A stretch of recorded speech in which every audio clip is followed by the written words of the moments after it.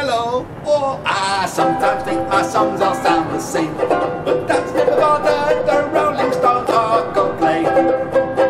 I don't want you folks getting fed up and bored, so I think I'll try.